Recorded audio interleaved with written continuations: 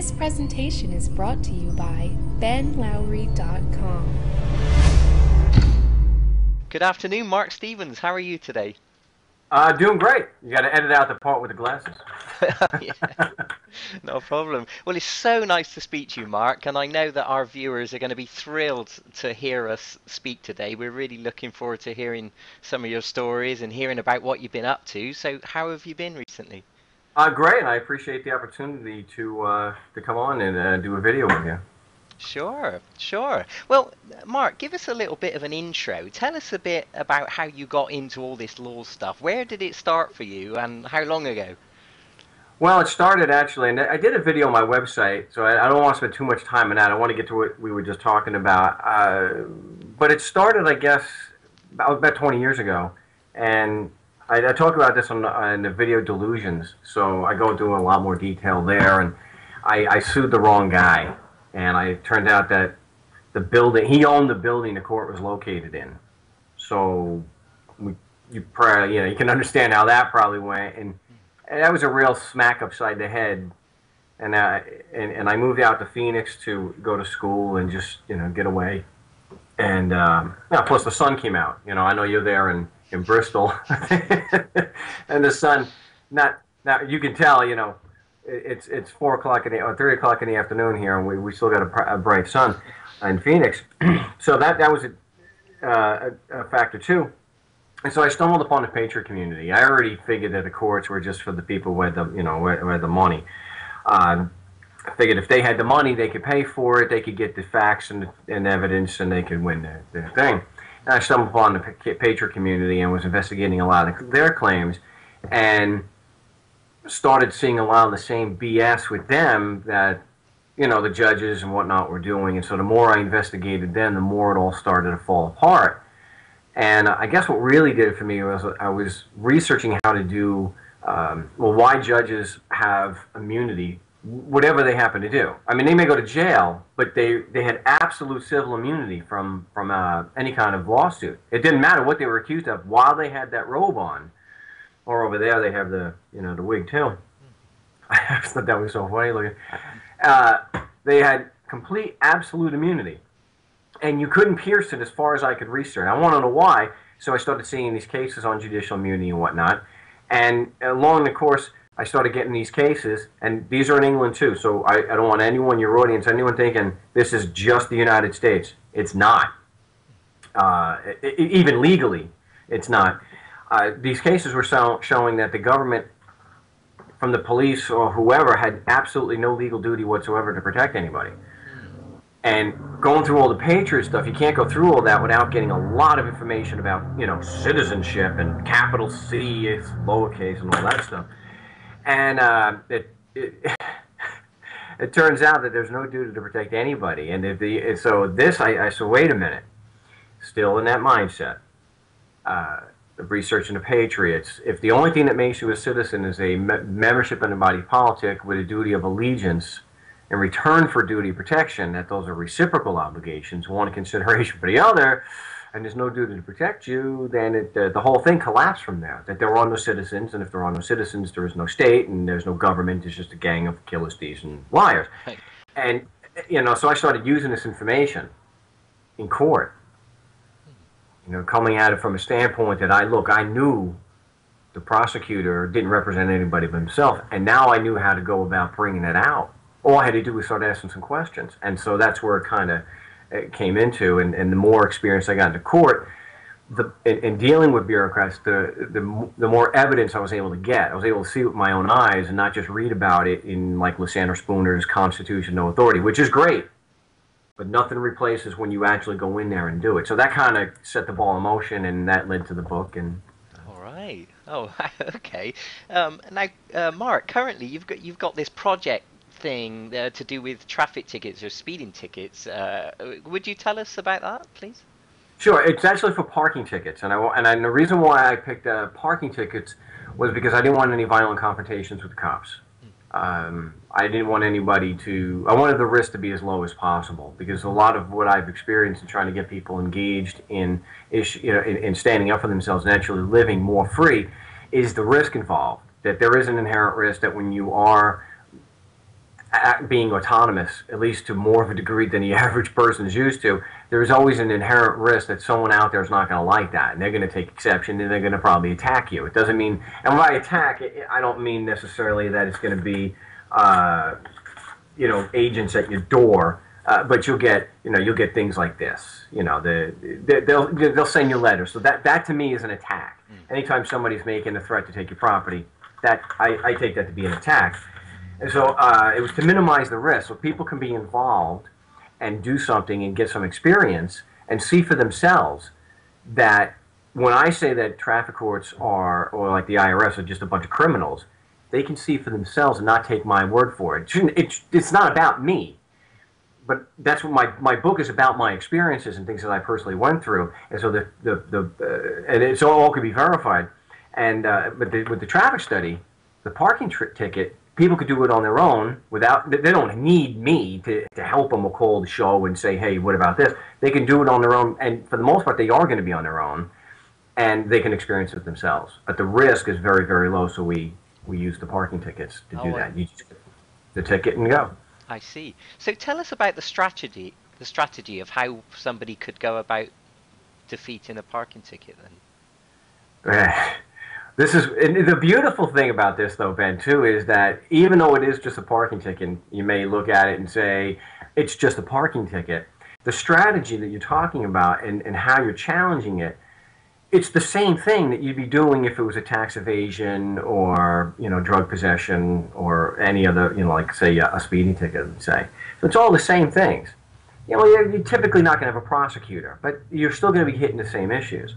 So one of the things that they that they tell you is that you're entitled to a fair trial. I mean, over there, and it comes over from this this whole English thing that you know that you're entitled to a fair trial by a fair and impartial jury or judge. And okay, and so knowing what we know that there is no state that they do business the barrel of a gun and, and all that that it's demonstrably false that there's a state and citizens and knowing all this we can go in and we can challenge this thing that you're entitled to a fair trial so I like to keep it very simple so people understand. And, and Adventures in Legal kind of grew from why I was asking these three questions. I mean, I had to explain so people, you know, know. Because if you go into court and you don't know what you're talking about, they'll eat you alive.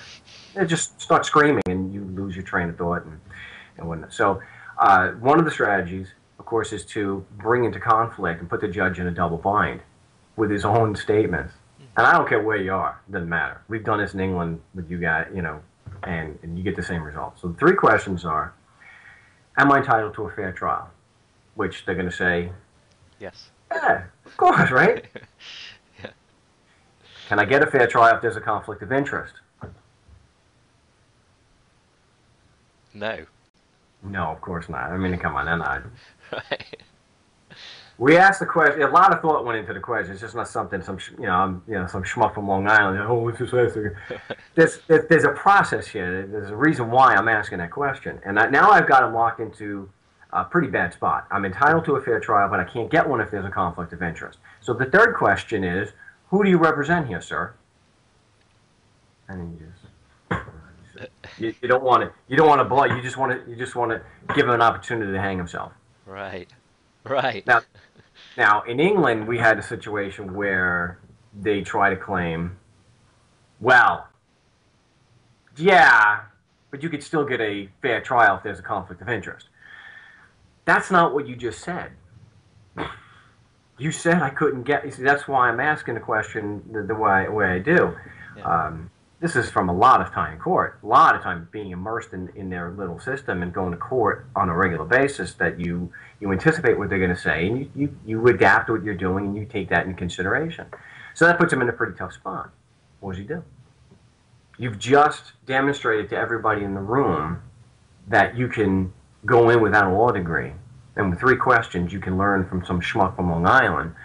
You can make it. You can have a judge stop dead in his track. What's he going to do from this point? I, I don't know. What what happens? I don't know. Well, see, you're an honest guy. so, Someone, an honest person in that situation is really at a loss. Like, uh, didn't see that one coming. Even if they do, what are they going to do? Well, Marc, I can't see a judge answering those questions. Well, you know, one of the things I like to do is go in with an unsigned plea of guilty. Say, I'm just here to pay the fine. I don't understand what's going on. I have a few questions because the English system, then, just like over here, where they adapted it, adopted it from, you're entitled to be informed so that you can adequately defend yourself. And so I take advantage of that. So that's why I go in to plead guilty. And I'm able to ask these questions. So I put them in a really tough spot. But if they if they weren't just scamming me, I couldn't do something like that. So uh, they more most likely they start yelling and screaming. Right. Whoa! I just want to plead guilty and go home. There, what's what's the problem? You know, is it, so eh, the people behind you, you're you're educating them. It's like so all of a sudden he goes from being a calm, rational adult, seemingly, to screaming and coming unglued. Right. He's just you know, a, we're always waiting, Ben. One of these days, where someone's going to report that the, the judge's nose started to bleed when we asked those questions. but the other side of it, though, is what if he does answer? Because a lot, sometimes they do. I'm not. Most of the time, they don't. They're shrewd enough, and they've got that stupid wig on for a reason. They, they're pretty smart, and they know not to answer the question, so they just they, they just move on. So what they'll do is they won't tell you overtly they represent the state. They'll just represent you and enter a plea for you. But I'm trying to plead guilty. right. So a lot of times they do answer the state. Now what do you do? You, are in a situation now where, and I've got audio of this, and, and so many people have replicated this, and they've called the show, and, and they were able to say, well, yeah, I asked the judge's question, and, and he said I represent the state. Or FIU, they, they had no choice. You can just show them the oath of office and uh, that they're supposed to have. They don't actually need it to do this. Says here you represent the crown. Is that true? Paperwork says it's crown versus mark, so it's kind of a, kind of a bad spot from the beginning. So when we do that, and it's very easy to do, it's just you have to keep in mind that you're dealing with a very violent individual. So you want to be very calm and and unassuming as you can because you're putting on an act. You're you're just acting. Right. And uh, so when they say that, a lot of this, like I call in the book Zen in the Art of Litigation, it's not a matter of making overt accusations. If you're going to make an accusation, don't do it in the form of a statement. Do it in the form of a question, because now it, it gives that's your escape. I know it's a linguistic tool, a trick, whatever you want to, but it helps. Right. And so you, you, you, you, I'm able to say, like with the IRS, when they're flipping out, screaming at me, you're accusing me of a conflict of interest. No, sir, all I'm doing is asking you to explain to me how it's not. right. I'm reserving my judgment until after you explain that. and so it's the same with the judge. When he says he's representing the state, or with, let's say in Canada or Australia or whatnot, and they say that they're representing the crown, don't accuse them of having a conflict of interest because they're just going to say, well, we disagree. So well, you ask them, like the babe in the woods, I'm not a lawyer, but would since you're representing the plaintiff, the state, wouldn't that be a conflict of interest? You know, and, and just just leave the ball in his court there.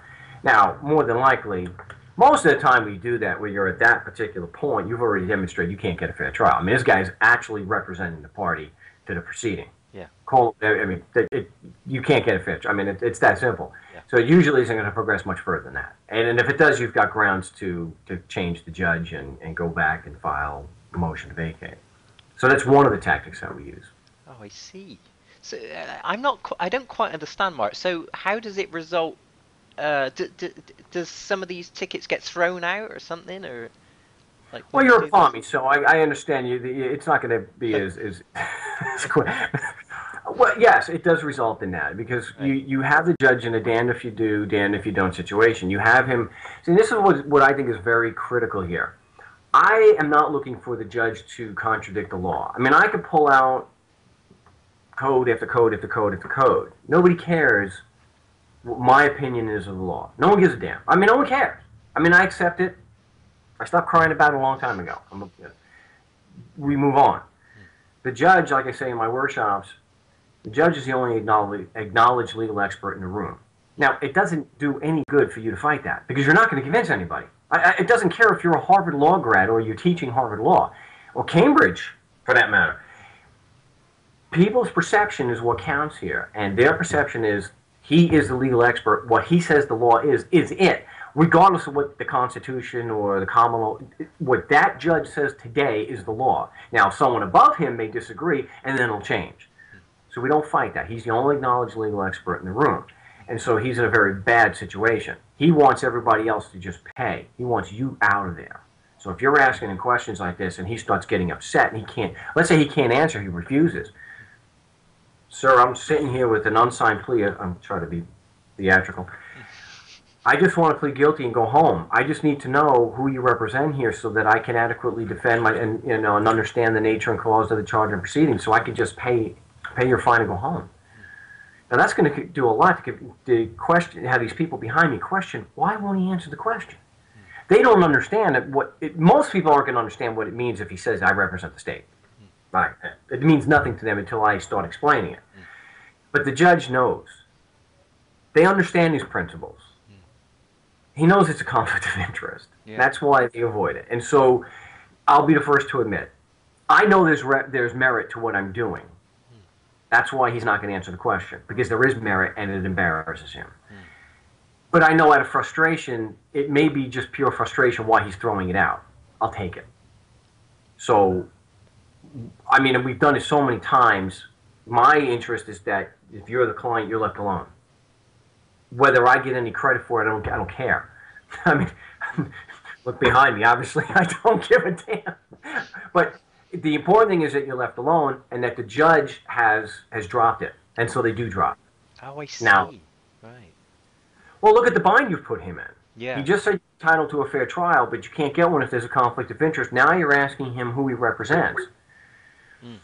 Mm. Okay, so you're not you're not making an accusation. All you're doing is you're taking advantage of rules he already knows without actually having to overtly say it. Mm. It's like when an attorney says to me when I asked him, and we have this posted on, on our website now. When I asked him if he had done any investigation and spoken with the agents who did the assessment prior to filing his lawsuit. Now, I'll tell you, I'm, I'm talking about Rule 11, which says you have to do that or it's sanctionable.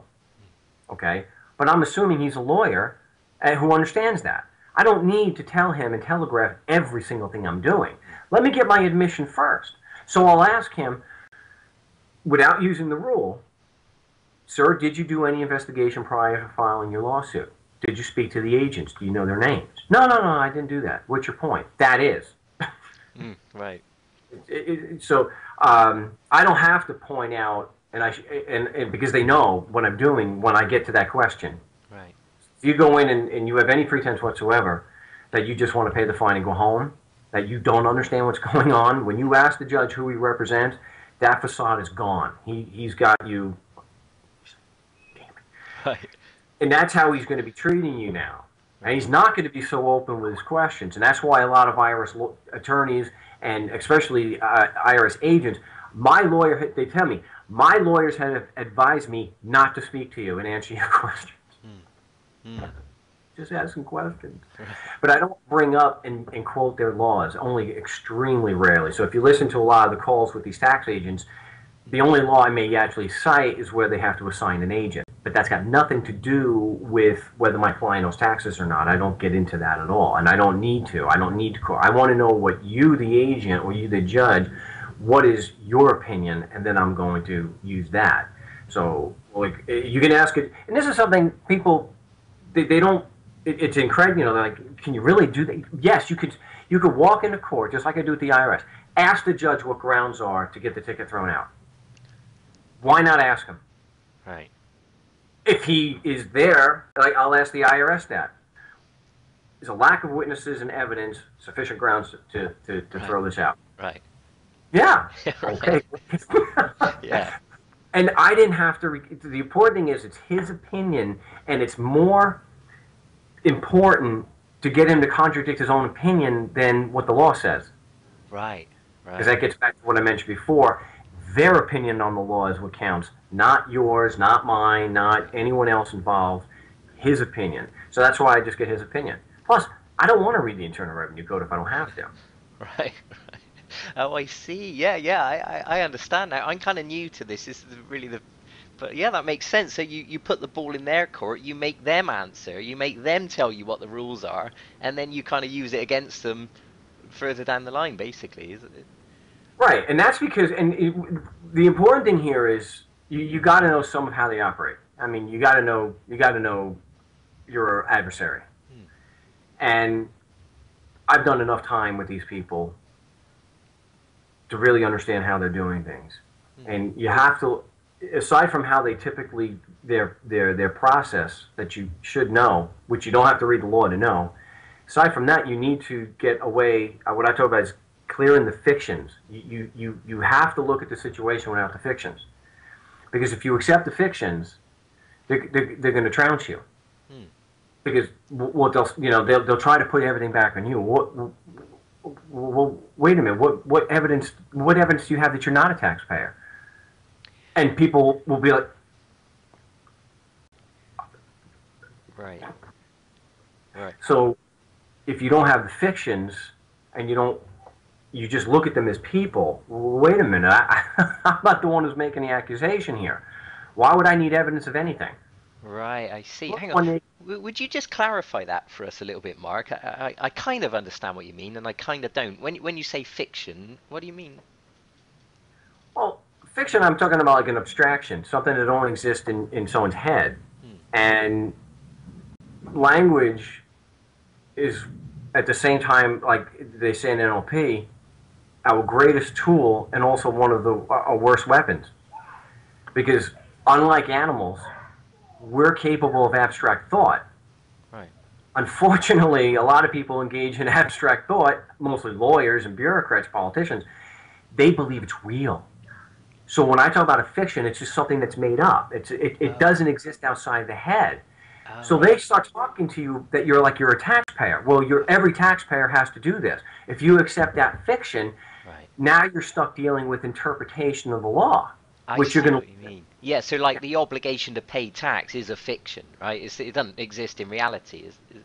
No, right. It's right. it's it's someone's opinion. Right. And they'll say, Marc, whether your client is obligated to pay is an issue of fact. It's not an issue of opinion.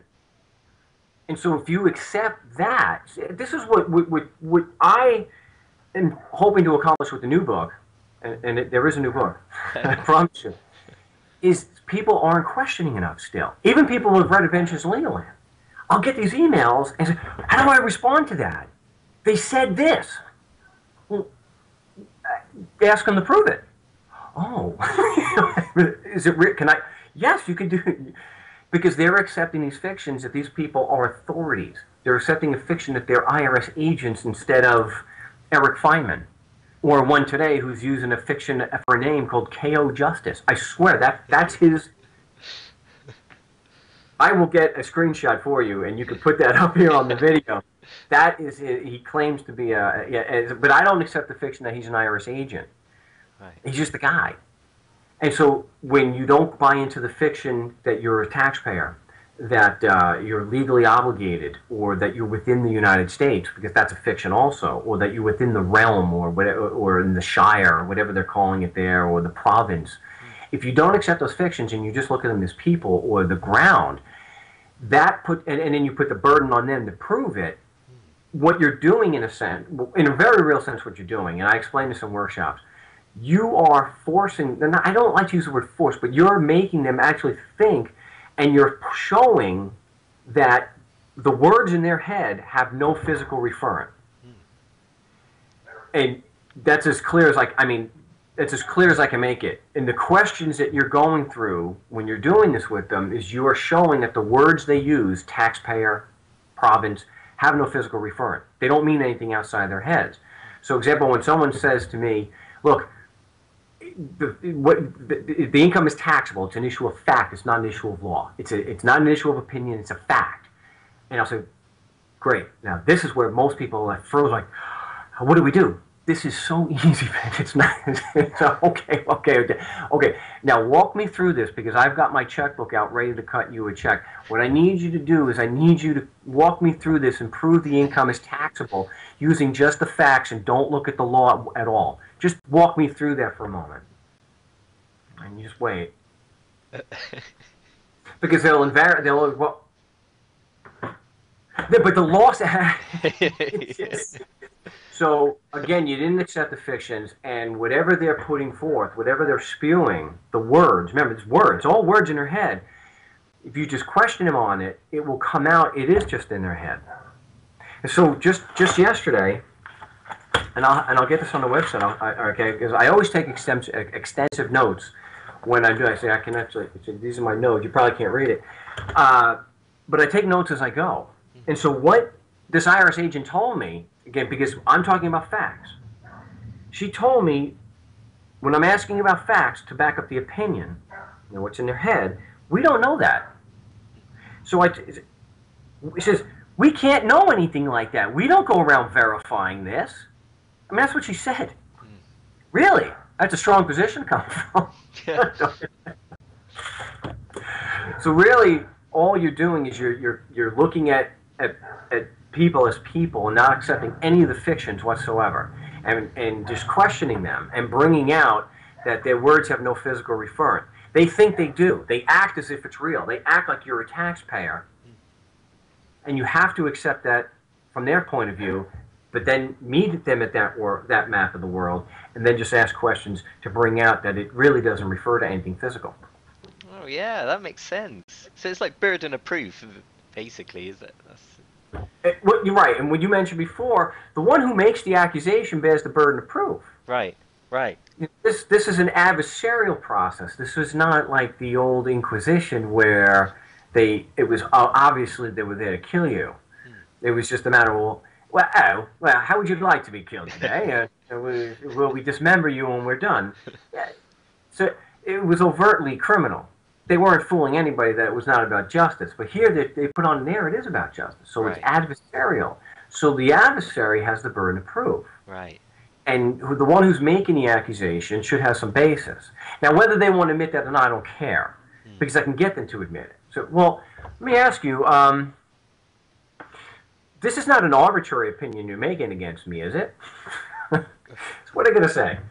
They can only say no. Oh, oh, so it's based on facts current within your knowledge.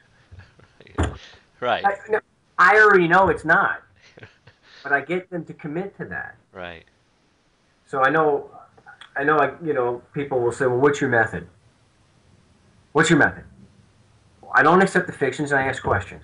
That's it. I mean, that's really the whole model. I mean, there are specific other things that you want to do in dealing with the IRS, but that's the general model. And if you follow that, then you, are going to do a pretty good job of getting your objective. If somebody is coming after you with a BS claim, and it doesn't have to be, you know, someone claiming to be from the government. And one of the most effective things that I've seen is, oh, oh, you've got a claim against me. Could you uh, give me a factual timeline, and I'll cut you a check. You know, I want to know where, when, why, and how. Just give me a factual timeline, write it out. If you want to do it on a penalty of perjury, that's great. and that's usually enough because you know they're, they're, they're, they're, let me use an example. I don't have anything here. But if I say I can play guitar like Steve Vai, do you argue with me or do you just hand me a guitar? right. right, yeah. That's all that's all I suggest that people do. Use the scientific method and just ask questions. Right. Don't form your hypothesis or anything, you know, uh, unless you've done some investigation and it's based on something. I, I can form a certain conclusion based on prior experience. But I don't necessarily do that when I'm talking with the agent. I want the facts to speak before the opinion. Right. It's like say, you know, because one thing I do when when we do all this, you know, when I when I've got all the, and I've got all those phone calls that you can hear some of them on the website, I don't have to do like what the IRS does. So they'll say, if they ever say to me, what facts do you rely on that your client's not a taxpayer?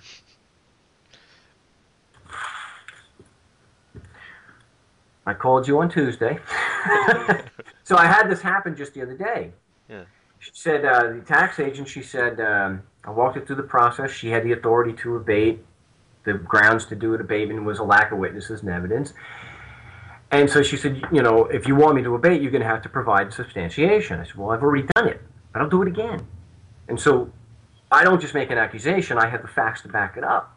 And I said, well, my substantiation is you told me you were authorized to do, to do an abatement. You, you told me the grounds to justify an abatement would uh, lack of witnesses and evidence. You told me there were no witnesses. You told me there was no evidence. You also told me you don't you've never had any contact with the agents who may have done these assessments. That's my substantiation. Those are fact. That just happened. We can document that. Mm. So those are facts. See, that's something I think a lot of people do miss. We're absolutely certain, and I, I can prove beyond any doubt, beyond all doubt, no one's a taxpayer. I, prove, I mean, it's, it's very easy. But I got to have more than just my accusation or just my statement. So when I file with the IRS or I'm doing with the IRS, I have my position that will be that there were no witnesses and evidence to show my client's a taxpayer and has taxable income. Well, what facts do I base that on? I had the phone call. I spoke to agent, you know, let's say I spoke to Ms. Clemens on Wednesday, November 9th. I then spoke to oh, Ms. Tabone, and I have badge numbers. Now, they may not be real, I don't know. But I had these are my facts. So I've got my I've got my opinion, my statement, my thesis, let's say, and then I have my supporting facts. And that's the way we do it. So like I mentioned to someone today, I could be wrong. There may be witnesses, there may be evidence. So if I'm incorrect as to that, what does the IRS then have to do? Produce them. yeah, it's that simple. But we know because they've told us, and if you listen to the Kimberly Clark phone call, they won't disclose the name of the agent. So, how could they possibly make a rational opposition to me beyond just their say so? And we stick to the facts because they have to produce them. They all they have is their opinion. Well, Marc, you're wrong. I might be. But I've got these phone calls. I've got you. Now, if you think I'm wrong, are you able to testify? Are you qualified? and, and so we keep sticking on the same point. I could be wrong. I've been known to be wrong. I accept it. Do you have any witnesses with personal first-hand knowledge? And we're right back on that. Right. I had to say to an agent just this morning, sir, if you think you have a qualified agent, then get him in touch with my client and I, and we will file that return forthwith. We will do it immediately. But we want to speak to the agent first. We'll save you the time for having to do the substitute for return. We'll do it for you. And of course, he said, no, I can't do that. Okay. So you have no facts, you have no evidence. And you're right back to that. right. Wow. It's simple. But from a legal standpoint, I want to point out too, before I forget, when you do stick to the facts and you don't take legal opinions, such as like uh, my opinion, my position is based on what the witnesses from the IRS have told. I mean, this is IRS agents telling me this and lawyers. That's not me. It's not my opinion. They're telling me there's no witness.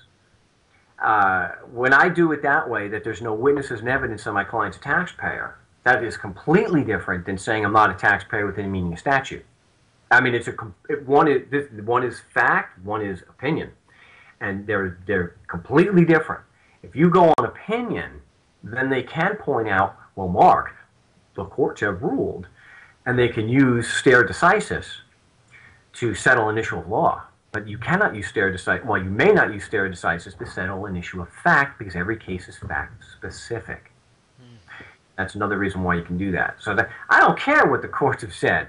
Mm. So if I'm dealing with you, Ben, do you have a case of res judicata? And you're like, oh, what the, what the? See, res judicata is when a court and a jury has made a determination on the facts. Oh, right. Okay. Then it's over but only for that year. So if it's taxes, it's only for 2005. If they did two, has no application for 2009 because hey, things change.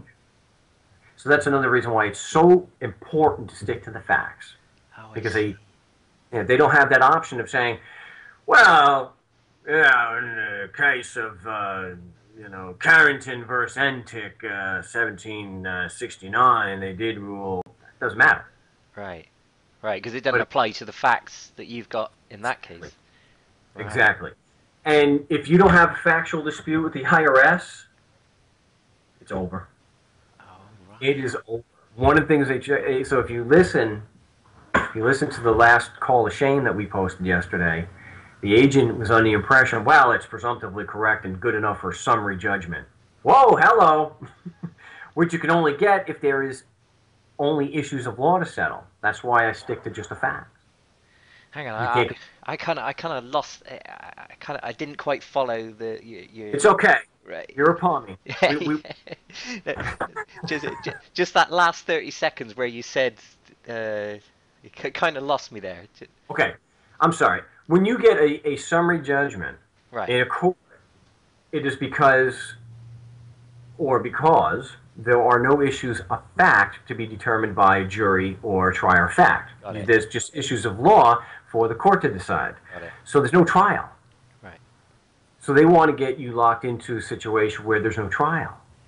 Right. Because they've even told me just again today, it's extraordinarily difficult for them to find out the, who the agents were that did the assessment on the substitute for return. They have difficulty getting it. Right. And and and like I told KO Justice today, based on my experience, almost 100% of the agents have have admitted to not being qualified to say my client was a taxpayer or, or had taxable income. And I, I have proof. I have someone doing it under oath, which means nothing to me, but maybe so, you know some other people it still does. You can go to my website, and it's the uh, Maryland tax hearing. You can hear an agent admit that she did some like seven, eight years worth of assessments, and she's admitting under oath in front of all her friends she wasn't qualified to do the assessment. But that's what she does for a living. So I, I, I, just take their, their statements and use it against them. If, if I say an agent's incompetent, it's because they told me. Right. Oh, I see. So we want, yeah, we want the dispute of facts. We we don't want the facts to be settled in summary judgment. We want to to win on the dispute of facts. Is, have I got that yes. right? Yes. Yes. What you're doing, if you have a dispute of the facts, you're taking a huge monkey wrench and jamming it in the works and not allowing them to have summary judgment right. which is basically judgment without a trial, which means they don't have to give you any discovery, nothing, right. which they're which they're supposed to do. But, and I'm sure it's the same way over there. They don't want to disclose the name of the agents who are doing the assessments. So, like KO Justice said to me, oh, that's a frivolous argument. And if you're thinking that the agent who did the assessment is actually relevant to whether it's a, a valid assessment or not, that's frivolous. Wait a minute. Let me explain. Whoa, whoa, whoa, wait a minute. So the analogy I use is you're saying basically that when a police officer writes a traffic ticket, you think it's valid even if you don't know the cop's name and he never shows up in court. this is what you're telling me. And you think you think that my reliance on it, so he tries to challenge me. What? Because I had initially said to him, if you think it's frivolous to challenge uh, the evidentiary basis of an assessment. If you think that's frivolous, you need to cite a court case saying that because you, you, you basically would have shut down the tax court. There's no need for it. Yeah, yeah, they're, they're basically saying there's no need for evidence in a court case. That's right. You don't need courts, right? right. So you need to cite that for me. Right. He says, no, what you need to do, Marc, is you need to cite to me why you think it's necessary to, to know the witness and why the witness has have personal knowledge. I said, yeah, it's Rule 602 of the Evidence Code, Federal Evidence Code. And he says, oh, I think you're making that up. Well, okay. Right. So he says, I think I think what you need to do is look at Rule 601, which talks about about documents. I said, no, I think you mean Rule six, eight, Rule 801. no, you're making it up. No. Okay, all right. Right. But wow. uh, yeah, they they will always, and you'll see when you challenge them or you get any of their apologists, because there's websites that that uh, I'm not the focus of their website, but they're all seem to be lawyers, and they think that I'm out of my mind because I focus on a witness. Focusing on the witness is insane. Really, I think I remember that in a movie once. Uh, pay no attention to the man behind that curtain. yeah. Why? And ask yourself that, Ben. And everyone should ask themselves that if they're confronted with it, ask themselves and then ask an IRS, why would the agent who did the assessment be irrelevant as to whether the assessment is valid or not? Especially when, if you ask them, Ben, like I asked this guy today, are you qualified to do assessments? No, I'm in collections.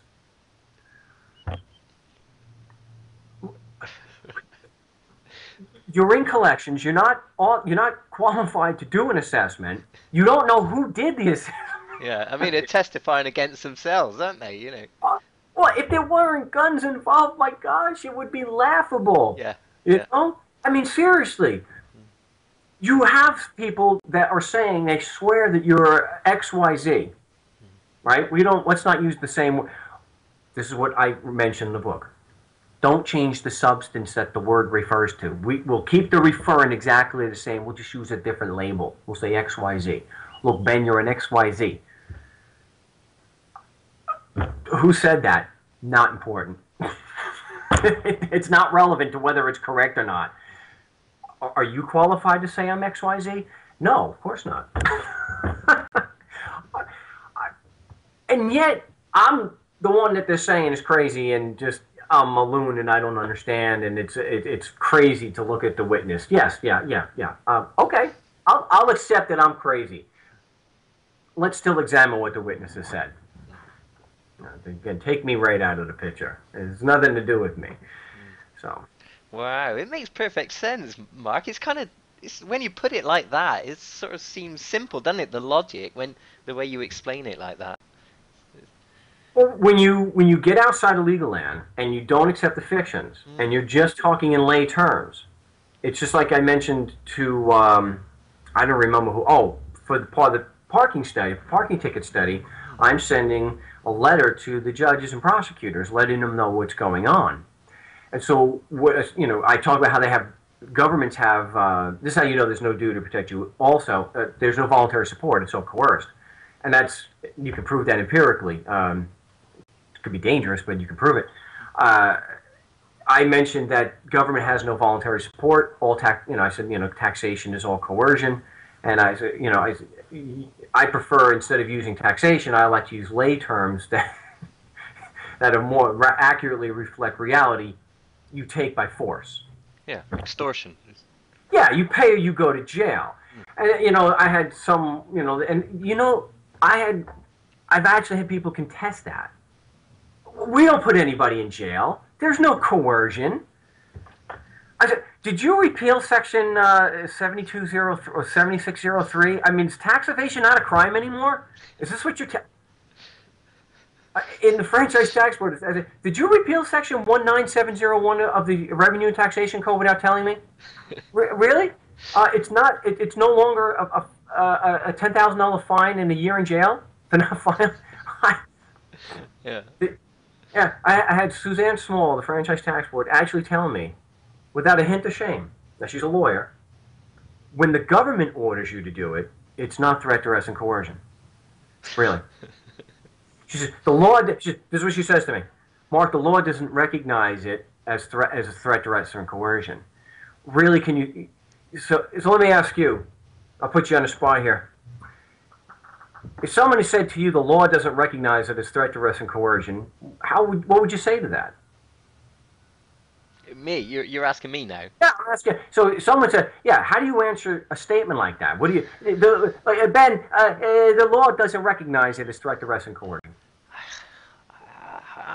Uh, I'm not exactly sure, Marc. I don't know. I, You, you Pommies in, in, in general, just you just you, you're too. Most people are just too stuck yeah. on them being an authority. Well, the law. See, the law hypnotizes you and like, well, okay.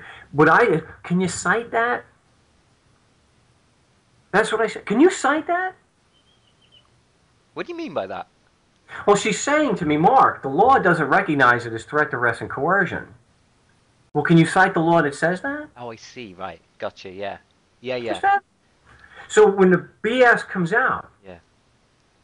bring put the burden, keep the burden on them. Oh, I see. Yeah, I got it. Yeah, I, I'm with you now. Yeah. Yeah. So if you keep the burden on them, so if they throw you, I had the one lawyer say to me on the bench, uh, uh, Linda Scott, she says, uh, I am prepared to rule as a matter of law. Uh, objection, which law would that be? I am not going to discuss that with you. Right. Right. If they have grounds, they'll give it to you. Right. And so it, it, it, it, it all, don't take the fictions, don't accept the fictions, and challenge, challenge, challenge, challenge. Don't, don't accept what they say. I had the common one was somebody will file the motion to dismiss, like in the parking t- traffic study, and they said, "Well, the judge, the judge said this doesn't apply here. What do I do? Well, why would you accept that as an answer? Right. So, so you could ask them, can you cite that? Could you say that? Well, yeah, exactly. Could you cite me where the uh, uh, the legal exception is for this particular court? Right. yeah. And, and then if he doesn't give you anything, this is see turnabout is always fair play. A lot of what I do, I have taken from them, Yeah. and I use it against them. It's just like I have a motion, uh, a, a, uh, a response from. Uh, I, I, I took it out before. Uh, I have a response from the county attorney in Keene, New Hampshire, where he says, "Oh, Marc Stevens doesn't have any standing. He suffered no legal injury." really? And half the things you prosecute, there's no legal injury. So we take it and use it against them. so, and that's one way to do it. And I have his motion, his response on my website. So if someone's in Keene or anyone, you, know, you can use a prosecutor's own, you know, paperwork against him. But when they say something like, "Oh, Marc, uh, that doesn't apply here," do you have any legal basis for that whatsoever? No, no. I, I oh, great. That's my defense. This ticket, th- this parking ticket, doesn't apply. Oh no, I have no defense. I have no support for that. Oh, oh, am I the one making a mockery of the proceedings now? because you know the contempt thing is going to be uh, right around the corner. Oh, oh, okay. But you just see if they're going to use something like, oh, that doesn't apply here, and they've got no basis in law whatsoever. Well, apparently it's not a requirement in his court now, is it? Right. Right. Oh, So if, if yeah, so just use it against him. It's just like what what uh, John Webb did to avoid me being able to help somebody. He states what the law really is, what we've been saying for ten years, but they ignore it. Doesn't apply here. Now I can't wait for someone, Ben, to take John Webb's own paperwork and attach it to the motion, something he's prosecuting, and have him explain it. I'm I'm really waiting for and hoping someone's going to do that. Uh, but anytime they use something like that, it's it's just like, and I know we're running out of time. I'm trying to get as much information as we can. Sure. Another way of doing it is, and this is one thing we're doing in the parking, the parking study. And if you're in England, you got to make sure you can get to a magistrate's court if you're going to do it. So do some research if you're in England or in Australia. There are certain time places where you can't take it to court. So don't don't get a ticket in that you know jurisdiction. But uh, one of the things that we are able to do is predict how the judge is going to respond, which is which is a lot of fun. So one of the things I'm doing here, Ben, is I'm letting these people know you have the guns, but you're really not that much in control. We can actually manipulate you. So I want to be able to show from my little chair here in Phoenix, the fortified compound, I can manipulate a judge in Brisbane or Melbourne or Suffolk. I can man- manipulate them to do certain things because I know their behavior. I can tell them in advance and they'll still do it. But one of the things we do is we manipulate the judge into denying cross examination and not allowing a defense. Okay, because they're, they're frothing at the mouth. They declare the witness incompetent, which we could do with two questions. You move to strike the testimony. He just realized, oh, this guy just played me. Dang it. He's furious. He doesn't allow a defense. But occasionally they do. So what I suggest that people do is if they do, if this happens, let me just cover a little more. Let me give the, the, the two questions to impeach the cop. I've mentioned it before. The, it, every time doesn't mean it's going to get thrown out, but it, it, it, it will get the witness impeached every time. The judge will say he's incompetent. Did you file a valid cause of action against me, officer? Because the cop is writing the ticket, right? Did you file a valid cause of action? And he'll say, yes. How many elements are in the valid cause of action? Now that's going to make the prosecutor, if there is one, the judge is going to come unglued. The witness is not qualified to testify. It's outside the scope. Blah blah. blah whatever. He's not allowing him to testify. He wrote the ticket, so any of this BS. He's only there to testify as to what he saw at the stop and bull. You have a right, substantive due process right. They'll tell you before you do the cross. That you have a right to challenge competency and credibility. So the idea that you can't challenge him on the ticket he wrote, absolute nonsense. Because they'll let you ask, he'll let him answer that there was a valid cause of action, because it makes it look good. Okay, so now you've got this. The witness is declared incompetent. You request that the testimony be stricken, including the charge on the ticket. You violated the statute, which is a legal conclusion, not a statement of fact. So the judge refuses to allow that. And he's, okay, just, that's it, cross examination is over. Right? That's the thing. I love your response because yeah, when it, because I've talked about it on the show so much. People have to keep from laughing when it actually does happen. That the judge is, is, is, is actually arrogant enough to, to fall for this every time. right. I know the other alternative, Ben, is that, well, they just won't allow cross examination. Okay, you just saved me some time. okay, we're done. So, um, what we do is to show, because we know that they're supposed to allow cross examination. We know that they're not supposed to take the testimony of a witness that's incompetent. They, we know they know that. But how do we get them to say it? If you object, ah, they don't care. That's a, uh, my little Italian thing there. so, uh, anyway, I'm sorry. So, what you do, if they allow you a defense, this is great. But you got to be prepared for a serious emotional response you turn around and you call someone randomly out of the audience to testify on your behalf. I, see, you know what kind of response the judge or the magistrate's going to have, though. What's he going to do? He's going to say you can't do that or something. Why? Um, well, because they got the, the, the uh, no first-hand knowledge. I, I don't know. Not, there you go. Yeah, You're not qualified. You're not qualified. Yeah, yeah. So you get the judge to say what you already knew was true, and he said, "Wait, he's not qualified to testify." Apparently, that's not a principle that's right. Right. Well, you let the cop testify, and you said he was. See, that's the thing. Right. It's fine. The judge is saying the witness is not qualified, not you. Yeah. Who's the only knowledge legal expert in the room? The judge. The judge. So if the judge says the cop's incompetent, he's incompetent. So if he's going to flip out and start screaming because your random participant is coming up and that they're not qualified, he's now telling you what the law is. He's contradicting himself. Who cares what the law says? It doesn't matter. He's contradicting himself. So what's it going to be? Damn if you do, damn if you don't. More than likely, he's going to say, "That's it. We've heard enough of this. Get this guy out of here. Right. Get him out." And, it's just using his own testimony, his own opinions against him. We know they're BS. We know. Yeah. You can always use it against them. So even if you're a schmuck from Long Island, who I grew up in, actually Suffolk. I mentioned Suffolk. I grew up in Suffolk County. Oh, uh, really? Well, yeah, Suffolk County, Long Island, not. Oh, okay, right. I see. Yeah. No, I talk funny enough. My gosh, that's incredible, Marc. Um, listen, um, tell us tell us about the new book. Uh, what's the difference from the new book and the old book? Tell us. Well, it's a lot more in depth. Okay. And yes, I'm using real experiences. Uh, everything's true. Everything can be verified. But the, it's just the scope. I'm going so much more in depth where I purposely well, I still I, I stayed away from the psychological stuff in the first one.